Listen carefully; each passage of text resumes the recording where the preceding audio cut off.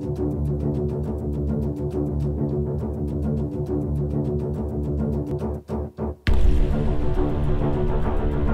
welcome back to Judo Breakdowns, your one and only source for such great, insightful judo commentary that you can only find on the internet of this particular quality, as in low quality, but low quality is better than no quality.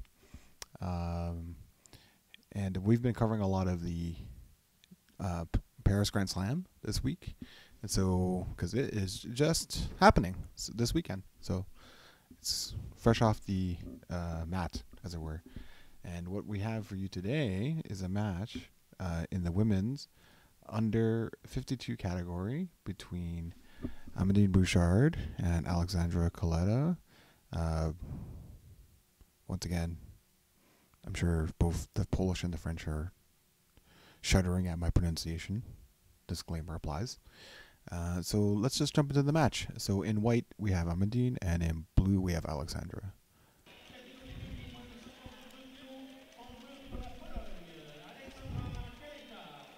Okay. Just getting established. Yeah, this is a very pro Amandine crowd. Obviously, they're in France, and she's a French fighter. I'm assuming that this commentary is in uh, French as well for this match. Um, but if you don't speak French, it's not going to help you. So, if you do want the French one, I've put it uh, in the description, the link to the original, so you can listen to what a real pro sound like versus me. It looks like uh, Kaleta or Aleksandra is uh, pretty willing to engage in the Newaza, so that's good. Uh, you know,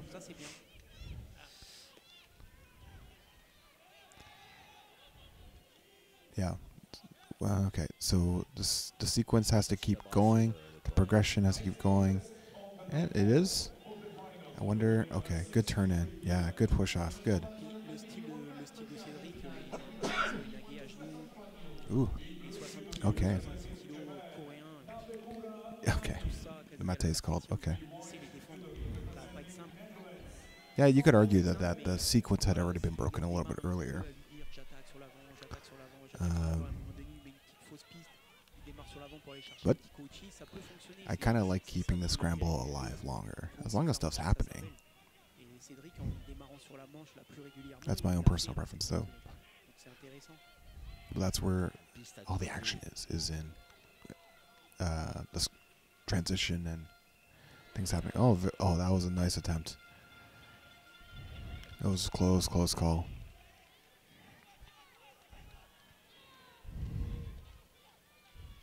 Okay. So, trying to grip grips there. Okay, yeah. You know, uh, Amandine is the initiator in most of these yeah attacks. I think it's like last three, four. Yeah, there's a very weak attack from uh, Aleksandra there. That attack from Amandine, mm, was okay. I don't know what the Polish coach is trying to tell Aleksandra. Pull more? Yeah, she's gonna get penalized. That was not really a real attack. If you're gonna go for that, you definitely would need more Kazushi, right? So.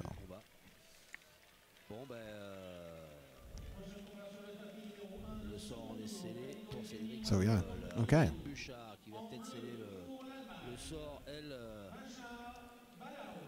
Okay, so what is she gonna go do from the script? Anything? Okay. Uh, oof. Okay. Well, it is a, an attack.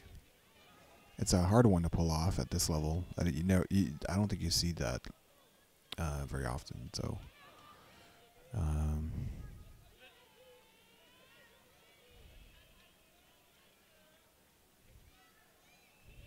okay, okay. So, so so far, my assessment is that Amandine has been the aggressor, but the the attacks have been sort of mm, half a step away. Yeah, like even that drop was it needs to be a bit closer for that to work.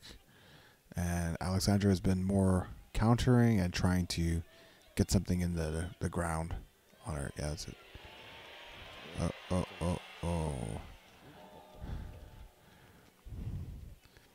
She's more explosive for sure, Amandine. So you know, if she catches Kaleta or Aleksandra, then I wouldn't be 100% surprised.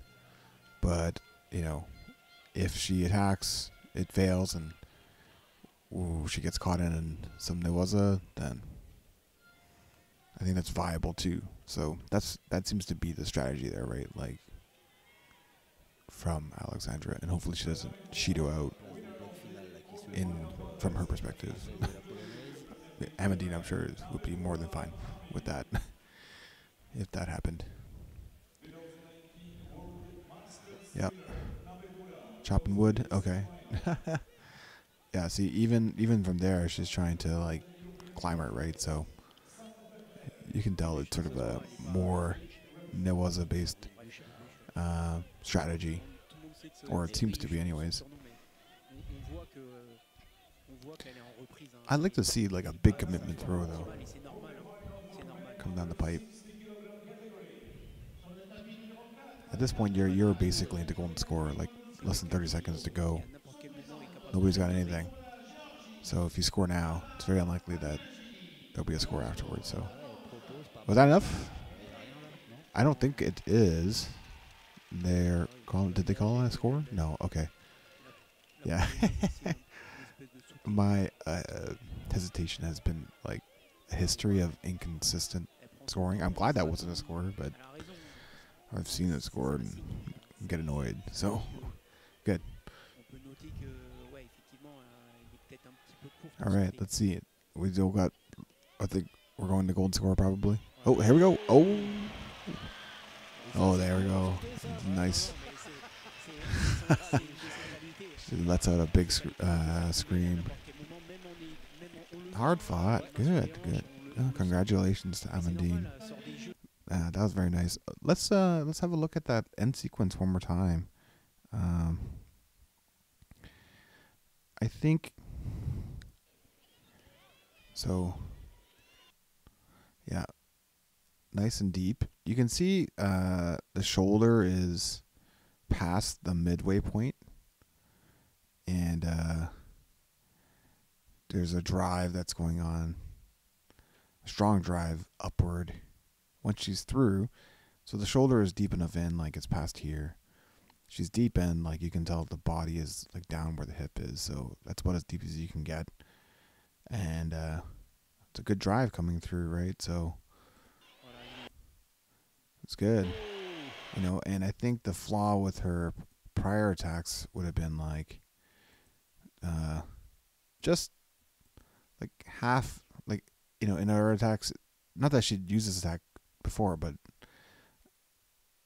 those attacks probably could have worked if she was as deep and as and committed as this one. Right? I think those those throws were there. It's just like she didn't get in all the way, right? And this one she did, obviously. So Okay, that's that's great. Good good for congratulations to Amandine for that uh, throw. And um, that's all I have for this match. If you have any comments about this match or about the channel, or if you have any suggestions, please leave a comment. Um, until next time, have a great night.